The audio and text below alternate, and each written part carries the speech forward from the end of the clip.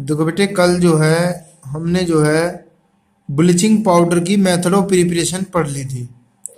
तो हमने इसमें पढ़ा था कि it is produced by the action of chlorine on dry slaked lime जो सिलेक्ट लाइम होता है होता है कैल्शियम हाइड्रोक्साइड तो कैल्शियम हाइड्रोक्साइड की यानी कि सिलेक्ट लाइम की रिएक्शन क्लोरीन के साथ करेंगे तो हमारा ब्लीचिंग पाउडर हमारा बन जाएगा जी calcium hypochlorite properties of bleaching powder देखो जी, ये पढ़ेंगे आज।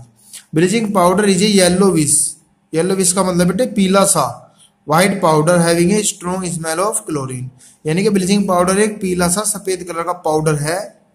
पीला सा कुछ सफ़ेद सा पाउडर है जो क्लोरीन की स्मेल रखता है। डाइल्यूट एच के साथ इसकी रिएक्शन करेंगे तो C A C L two calcium chloride plus H two plus C L two बनेगा सीओ टू के साथ इसकी रिएक्शन करेंगे तो C A C O three calcium carbonate plus C L two ये बनेगा जी इसके यूजेस पढ़ो जी। It is use as bleaching agent for cotton linen wood and paper pulp ये इसके यूजेज हैं जी। It is use as disinfectant and germicides कीटाणुनाशक वगैरह के रूप में। It is use an oxidizing agent in the laboratory in industry ये oxidizing agent का काम भी करता है जी।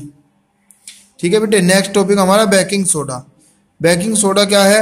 इसका केमिकल नेम है सोडियम बाई कार्बोनेट या sodium hydrogen carbonate sodium hydrogen carbonate common name है baking soda molecular formula N H C O three ये इसका मेथड है जी बनाने का जी. N C L plus H two O plus C O two plus N H three इन चारों की reaction कराओगे तब हमारा N H C O three plus N H four C L जो है अमोनियम क्लोराइड और हमें बनाना था सोडियम हाइड्रोजन कार्बोनेट या sodium bicarbonate, baking soda.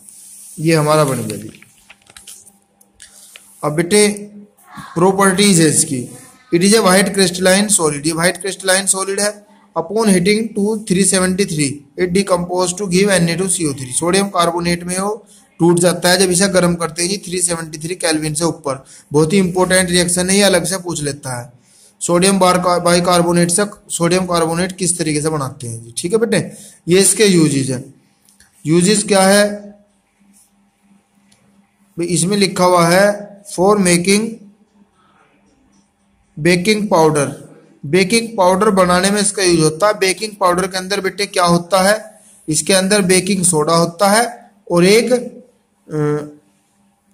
Tartaric acid कोई भी एक मिल्ड यानी कि कम इडिएबल एसिड होता है, जैसे कि टाट्रिक एसिड मतलब इसका उपयोग जो है बेकिंग पाउडर बनाने में होता है। बेकिंग पाउडर के अंदर जो है बेकिंग सोडा और एक एसिड होता है टाट्रिक एसिड जैसे कि। ठीक है बेटे?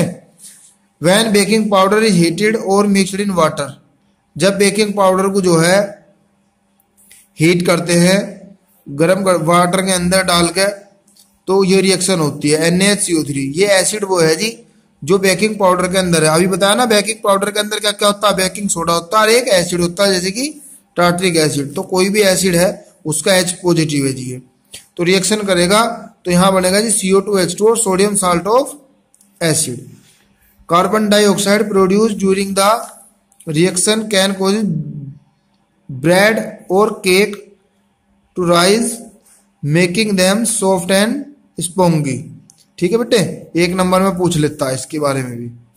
नंबर दो it is use in fire extinguisher मतलब जो आग बुझाने में जो है वहाँ इसका यूज़ किया जाता है जी। It is an important ingredient in antacids ये एंटासिड्स है जी बहुत अच्छा आ, पता होगा आपने क्यों क्यों क्योंकि एल्कलाइन बनाने के लिए। क्या है? बेस है।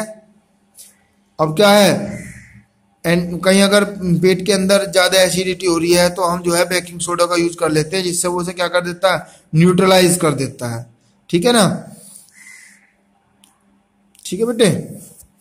Next washing soda chemical name sodium carbonate decahydrate sodium carbonate decahydrate soda ash भी बोलते हैं वासिक सोडा भी N A two C O three ten H two तो इसका बनाने का मेथड ये जी N A two C O three plus ten H two N A two C O three ten H two ये ऐसा बना लो सोडियम बाइकार्बोनेट को गर्म करो N A two C O three बनाओ पहले, फिर इसमें टेन एच टू मिलाकर जब बन जाएगा जी। बेसिक साल्ट है जी कैसा साल्ट है बेटे? बेसिक साल्ट जिसके यूज़ है जी। यूजेस तो आप पढ़ ही लेंगे। पानी की परमानेंट हार्डनेस यूज़ करने में भी इसका यूज़ किया जाता है बोरेक्स बनाने में इसका यूज़ किया जाता पेपर इंडस्ट्री में ग्लास में सोप में, हर जगह इनका यूज़ किया जाता है जी, इसका वॉशिंग सोडा का। अब लास्ट टॉपिक है जी, हमारा इस चैप्टर का plaster of Paris chemical name है इसका calcium sulphate hemihydrate calcium sulphate hemihydrate plaster of Paris कहते हैं फॉर्मूला है जी C S four half S two एक एक नंबर में पूछ सकता हो इन्हें भी तुम्हें किसी के बारे में। इसका क्या होगा?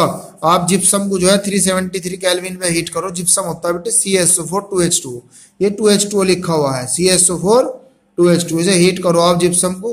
तो इसमें से क्या बनेगा? C S four half H two plus three by two H two ये बनेगा जी प्लास्टर ऑफ़ पेरिस। ये है जी plaster of Paris. Plaster of Paris. ठीक है जी? ये इसकी प्रॉपर्टी है। प्रॉपर्टी क्या है? Plaster of Paris is white powder ये व्हाइट पाउडर है and on mixing with water it change gypsum अगर इसके अंदर वाटर मिला दें हम प्लास्टर ऑफ़ पेरिस के अंदर, ये प्लास्टर ऑफ़ पेरिस है सी एस फोर आप एस टू इसके अंदर अगर वाटर मिला दें तो क्या बन जाता है? जी जिप्सम बन जाता। है इसके यूजेज है। यूजेज क्या है? जब सपोज़ करो आपकी जो हड्डी अगर टूट जाती है हाथ की तो प्लास्टर करने के लिए जो है, हड्डी को सही ज्वाइंट करने के लिए जो है डॉक्टर जो है इसका यूज़ करते हैं जी प्लास्टर करने में। ठीक है जी? और इसका उपयोग जो है टॉयज बनाने में, खिलौने बनाने में भी किया जाता है। तो बेटा आपका चैप्टर ये समाप्त हुआ। अब आप एनसीईआरटी पोर्शन करेंगे जी इसका। तो इसे अच्छे से आप नोट कर लेंगे जी अपने रजिस्टर